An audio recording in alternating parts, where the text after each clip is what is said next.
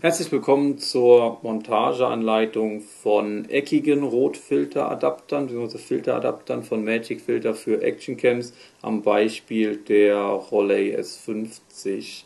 Wir entnehmen den eckigen Filteradapter für die Action Cam aus der optionalen Premium Box heraus. Sehen Sicherheitsschlaufe und Fixierschraube sind bereits vormontiert, ebenso der Rotfilter. Je nach Modell ist noch ein zusätzliches Gummi hier unten eingeklebt zur besseren ähm, Fixierung. Wir nehmen das Gehäuse der Action Cam, winkeln beides leicht an, stülpen es über das Gehäuse hier drüber und fixieren den Adapter mit einigen wenigen Umdrehungen nicht zu fest, da er sonst möglicherweise wieder herunterschnappt.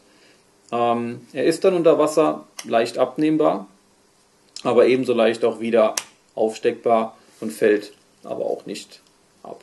Trotzdem empfehlen wir, die Sicherheitsschlaufe anzubringen. Bei der Rolle beispielsweise wäre die idealerweise Anbringung hier über den Schnappmechanismus oder man könnte auch über die ein Viertel Zoll Schraube hier unten den Sicherheitsmechanismus anbringen.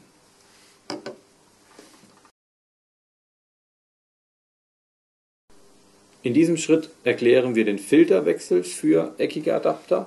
Dazu nehmen wir den Adapter vom Unterwassergehäuse der ActionCam ab, drehen auch die Fixierschraube komplett aus dem Adapter heraus, sowie das Sicherheitsbändel wird entfernt, drehen dann drücken dann beide Arme leicht auseinander und die vorhandene Nase nach unten, um den Adapter von seinem Filter zu befreien.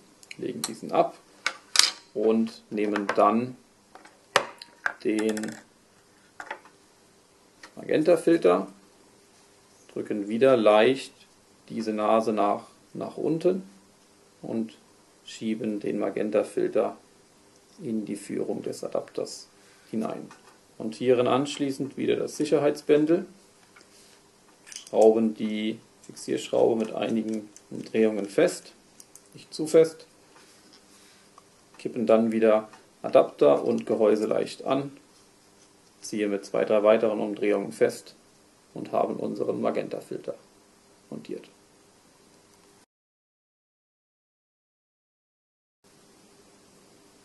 In diesem Schritt zeigen wir die Montage unseres Makrolinsenadapters für eckige Linsen an Unterwassergehäusen. Dazu nehmen wir den Makrolinsenadapter und die Makrolinse aus der Verpackung heraus und schrauben vor der Montage auf das Unterwassergehäuse den, die Makrolinse auf den Adapter auf und stülpen dann mit dem Sicherheitsbändel nach außen die Makrolinse über das Unterwassergehäuse auf. Je nach Variante der Actioncam kommt es auch noch hier auf die Einstellungen der jeweiligen Actioncam an, ob Weitwinkel oder nicht. Ähm, möglicherweise können schwarze Ränder bei der Verwendung der Makrolinse an den Ecken sichtbar sein. Diese können durch die Einstellung der Actioncam verändert werden, durch Reduzierung des Weitwinkels oder einfach über die äh, digitale Nachbearbeitung am PC, indem man leicht in das Bild hineinzoomt, dann wieder verschwinden.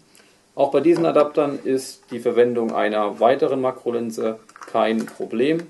Wir nehmen die zweite Linse und schrauben diese einfach in das vorhandene Gewinde der bereits eingeschraubten Linse herein und haben dann zwei Linsen montiert und einen Effekt von plus 20 Dioptrien.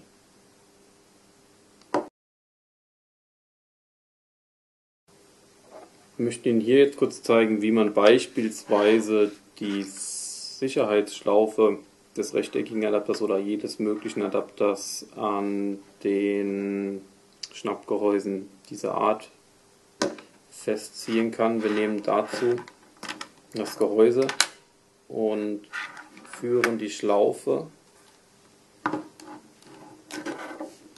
am untersten Punkt durch so und führen diese dann über den Pfeil wieder zurück.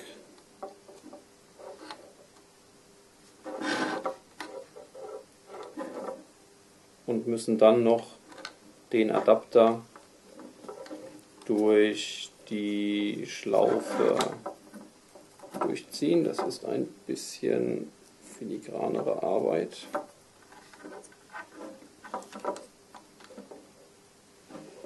Aber wenn dies erst geschafft ist, läuft das Sicherheitsbändel hier über dieses Eck hindurch und behindert auch nicht den Dichtmechanismus. Darauf ist sehr, sehr stark zu achten, dass nicht der Dichtmechanismus getroffen wird. Wir haken dann den Schließmechanismus ein, drücken nach vorne und haben dann das Sicherheitsbändel frei von der Dichtfläche montiert, können den Adapter aufstecken, fixieren und wenn wir möchten wahlweise nach unten kippen.